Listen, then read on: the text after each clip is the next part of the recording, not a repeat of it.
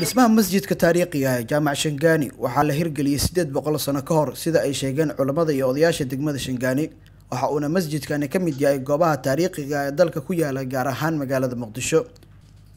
Inkastoo dhismaha masjidkani uu ku burburay dagaaladii sokoye ee ka dhacay dalka ayaa waxaa dib u dhis ku sameeyey oo kafaalo qaaday maamulka gobolka banaadir waxaana si rasmi ah dhismaha masjidka jaamac shangaani xarig ka jaray gudoomiyaha gobolka banaadir ahna duqa muqdisho. Iyo wasiir ku-xigeenka wasaaradda awqaafta iyo arrimaha diinta ee xukuumadda federaalk soomaaliya xarig jarka kadib ayaa mas'uuliyiinta waxa ay kormeer ku sameeyeen qeybaha uu masjidkani ka kooban yahay iyadoo ay xusid mudan tahay in dhismaha masjidkani uu ka sii hooseeyo ama ka hoos dhisan yahay masjid kale oo dhismihiisa la hirgeliyey in ka badan siddeed boqol oo sano ka hor. Ugu horeyntii xafladda xarag jarka waxaa hadal ka jeediyey gudoomiyaha degmada shangaani oo ugu mahadceliyey cid alaale ciddii ka qayb qaadatay dhismaha masjidkan. Waxaan rabaa inaan halkaan uga mahad celino cid walba oo ka qayb qaadatay dhismihiisa masjidka oo aada loo qurxiyey qarash badanna uu ku baxay. Marka waxaan kula dardaarmaa aniga maadaama ka guddoomiye degmo ahaan uu waajib naga saaran yahay degmadeennana uu ku yaallo. Wixii waroo dhiman waxaan u daynaa madaxda sare laakiin aniga waxaa iga quseeya waxay tahay inaan kula dardaarmo nadaafadda masjidka maadaama baytullaahi uu yahay. Baytullaahina qof walba oo muslim ah oo saalixa ayuu waajib ka saaran yahay inuu ilaaliyo nadaafaddiisa. Nadaafadda markaan leeyahay keliya ma aha masjidka gudihiisa masjidka hareerihiisa in la ilaaliyo wasiir ku-xigeenka wasaaradda awqaafta iyo arrimaha diinta xukuumadda federaalk soomaaliya ayaa dhankiisa ballan qaaday in ay qayb weyn ka qaadan doonaan dhismaha goobaha taariikhiga gaar ahaan masaajidada.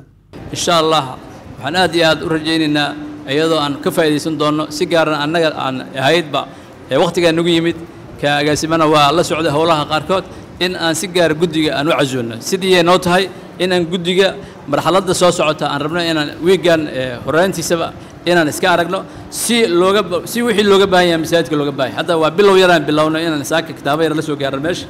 Laakiin waxaan rajaynaynaa in kutubo cilmiga la helo oo dadka cilmiga ahlo cilmiga ee jooga laga faa'iidaysto. Saacadihii fadhi kudirka la joogi lahaa in loo mataqaanaa tartamo oo dhaqankii dhaqankii ahaa dhaqan ka duwan aan maanta aan helayno iyadoo aan buqcaddii haysanno waa runtii waa fursad aad u weyn aan gadaal kugu soo noqonayn in allah intii hore wax baratay ee aqoonta aragteen leh ee diiniga ah ma aha dad jaamacado ka soo wada baxay maaha kulli madrasaday ka soo baxeen waa masjid macallinku helay fursaddeeda u helay.